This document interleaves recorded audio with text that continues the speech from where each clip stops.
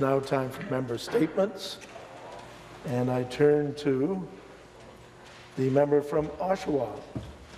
Thank you very much, Speaker. I have, I have received an impassioned letter from a critical care nurse uh, at our local hospital in Oshawa. She writes, quote, I have been watching the tsunami of COVID cases in this third wave with great trepidation. The Ontario government has said they didn't know it would be this bad. They needed to see the effects in the hospital before finally acting. Too little, too late. There's absolutely no accountability on their part for ignoring the provincial modelling presented by science and health experts in creating this crisis in our healthcare system. I am devastated by the rising COVID cases in our community and our province due to the government's poor communication and negligent mishandling of this pandemic. Their ongoing refusal to protect Ontarians with paid sick days and their callous cuts resulting in an inefficient public health system that can properly test, trace and isolate are abject failures of leadership. Their vaccine rollout has demonstrated systemic inequities in marginalized communities and is abhorrent. Their lack of accountability for their decisions and their actions is unforgivable. Critical care units here in Durham Region have moved se several critically ill Durham Region residents to centres in Kingston and Ottawa to try to ensure critical care services are available here for the many COVID and non-COVID patients requiring our services. Emergency measures to redeploy non-ICU staff have been issued to help us manage this third wave. I have been a registered nurse for 34 years and a proud critical care nurse for 25 of those years. I am gutted by what this Ontario government has allowed to happen to our healthcare system. They must be held accountable for choosing ideology over science, for listening to business and lobbyists over health experts. Thank you. End quote. Thank you, Speaker, and thank you to our frontline services. Thank you. The next member statement goes to the member from Ajax, who has 90 seconds. Thank you, Mr. Speaker. Uh, I rise in the House today to acknowledge the hard work and dedication of Durham Public Health, and in particular Dr. Robert Kyle and the frontline team that support uh, those who are work, hard at work administering vaccinations in the town of Ajax and elsewhere in Durham. Tomorrow, a mobile vaccine clinic will be at Bolton C. Falby School in the town of Ajax. That's located at 80 Falby Court. The clinic will require no appointments, and I encourage everyone in the area who's eligible to roll up their sleeves and get vaccinated. Mr. Speaker, in Durham Region, as of this Sunday, 158,947 vaccines have been administered, including 1,834 by mobile clinics, such as the one that will be at Falby School in Ajax tomorrow. In addition, pharmacies, primary care clinics, and Lakeridge Hospital continue to provide vaccine appointments. Durham Public Health have in the past few months set up and operated eight mass vaccination clinics across Durham Region, and this effort has not gone unnoticed by our community. Mr. Speaker, as well, today those aged 40 and over can get access to AstraZeneca vaccine at their local pharmacies. In Ajax, 16 of our local pharmacies are providing vaccine booking appointments online and on the phone. In addition to thanking our frontline public health staff, I also want to thank all the pharmacists, technicians and others involved in the distribution of vaccine through our local pharmacies and through our public health and primary care units. Thank you. Thank you, and thank you for sticking to your allotted time this time. Thank you very much. The next member statement is the member from Spadina, Fort York. Thank you, Mr. Speaker. Uh, today I'm going to argue that the refusal to implement paid sick days by this government and last week's decision to increase police powers are both examples of systemic racism.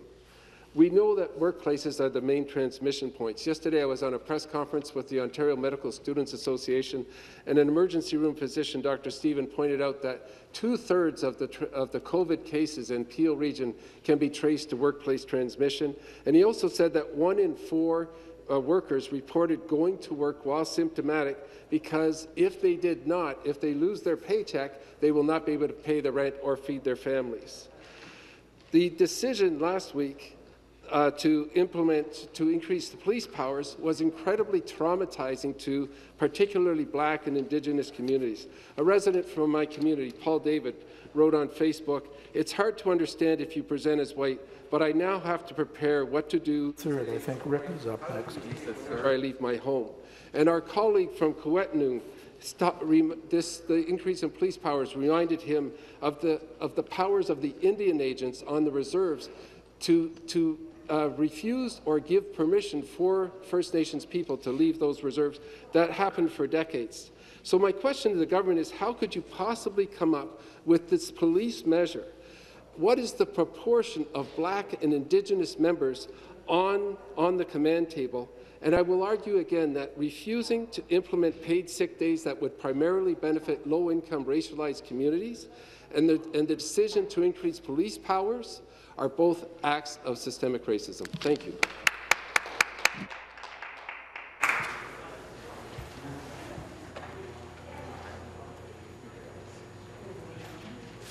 Okay. Member for Chatham-Kent, Essex.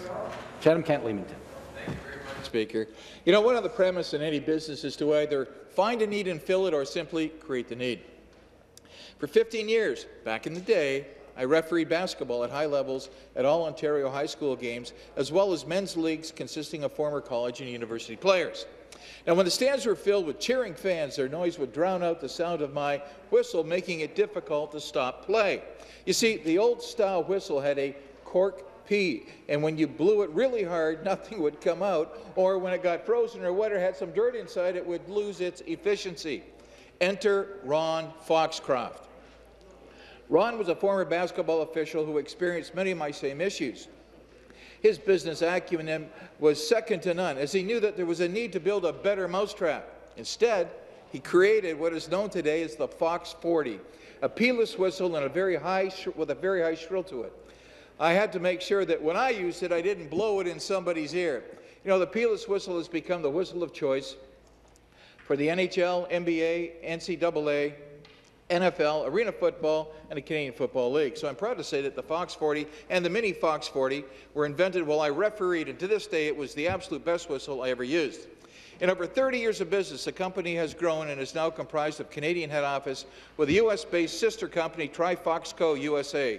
Fox 40 whistles are sold in over 140 companies. Congratulations to Ron and his team, who, by the way, hail from Hamilton, Ontario. Member statements. The member for Algoma, Manitoulin. Thank you, Mr. Speaker. And in my role as the MPP for Algoma Manitoulin is to make sure that the voices of people across my riding come to the floor of the legislature.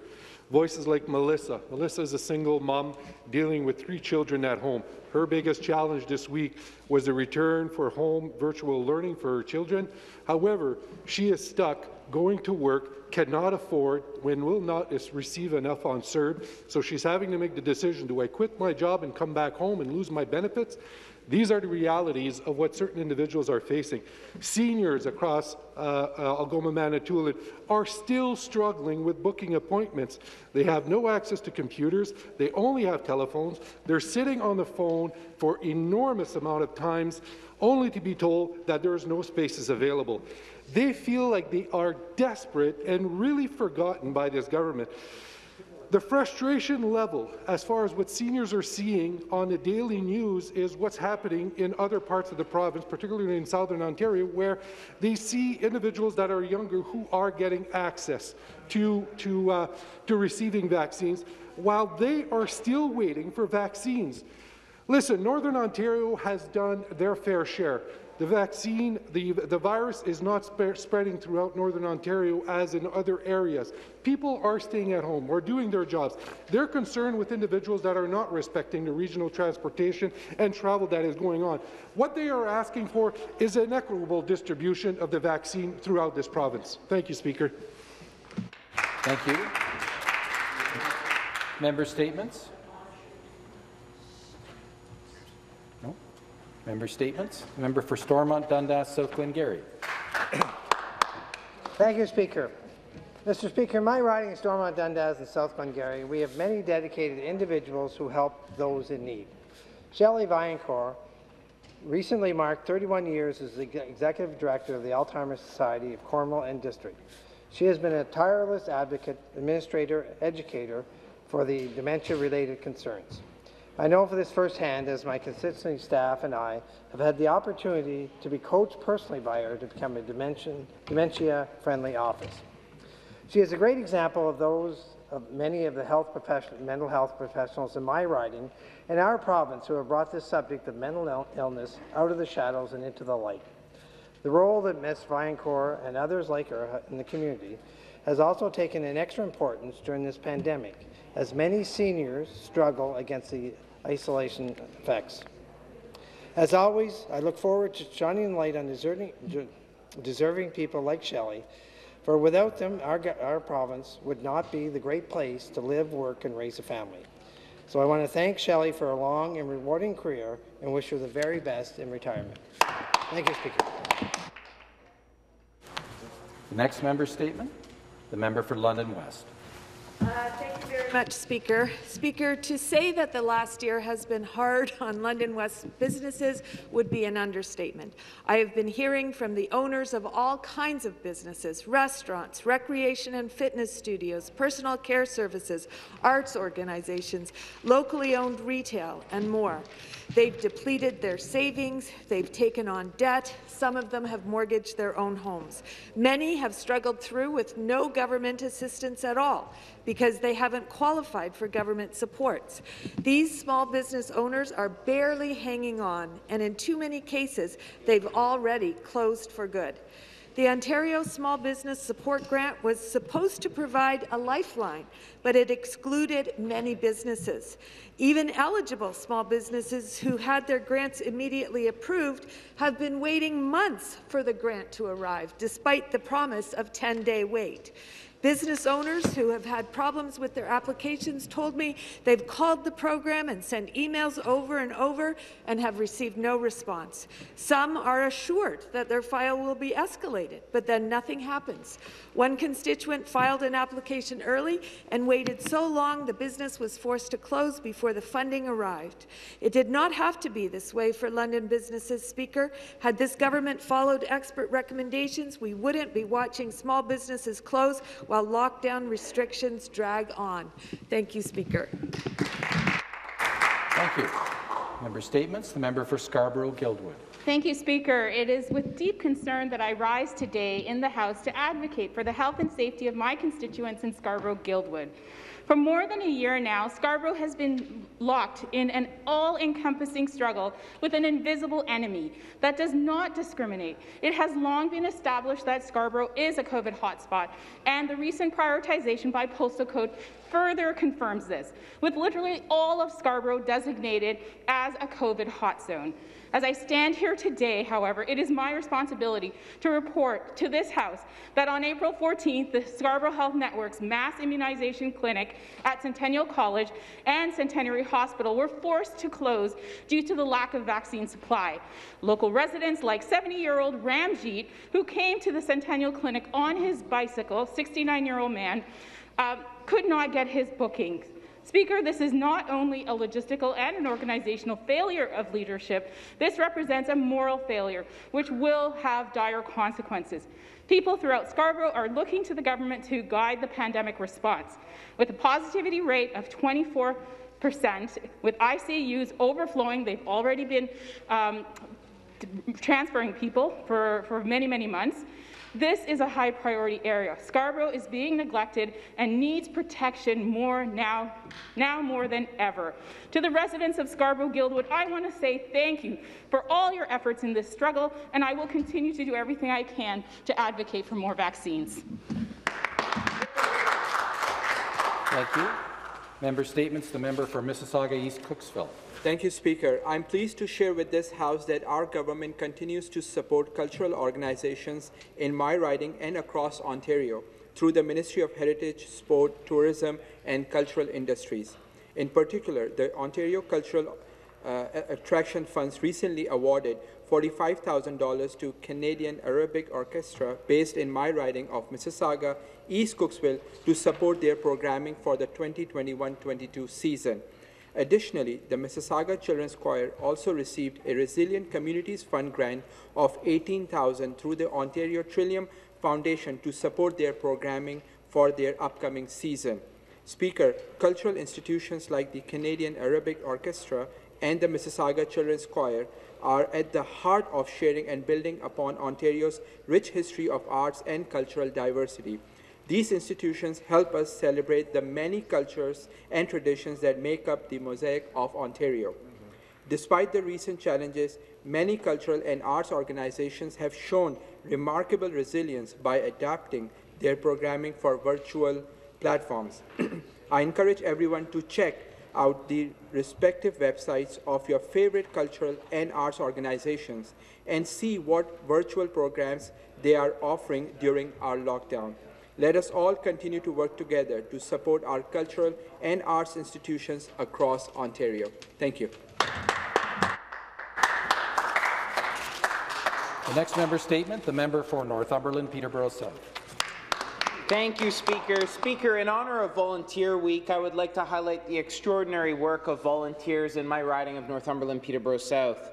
Mr. Speaker, I would like to specifically acknowledge the remarkable work of Cobourg Rotary and so many community-based volunteers. Mr. Speaker, when our community began to receive COVID-19 vaccines, Cobourg Rotary did not wait a minute coming together with a can-do attitude to help set up one of the most efficient mass vaccination clinics in Canada. This has now expanded to three other Rotary clubs, taking the initiative in Minden, Fenelon Falls, and Haliburton throughout our public health unit. It's attracted interest province-wide and indeed, Mr. Speaker, nationally. Anyone eligible who has had the opportunity to get vaccinated at the Cobourg Community Centre knows what a great system we have. The system's foundation is backed by a strong network of over 600 volunteers in Cobourg and 300 in the other three communities. Speaker, we are fast approaching a 1,000-person army to support this initiative. And this effort would not have been possible without the leadership of Gord Lay and Brian Reid, who are integral in the planning and early operation of the site. I'd also like to acknowledge other members of the Planning Committee, Linda Isak, Paul Allen, Anne Grozier, Linda Kay, Helen Lackey, Patty Lay, Richard Brule, Dr. Bar Bob Scott, Roger Tessier, Dr. Mark Isak, Nancy Bruce, and Kim Reid. Speaker, what starts as a drop and what a mighty drop this has been has now had the ripple effect across so many communities in our province. So to Cobourg Rotary and all the volunteers who've been critical in this initiative, thank you. Thank you, Speaker.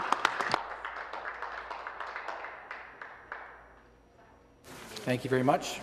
That concludes our member statements for this morning.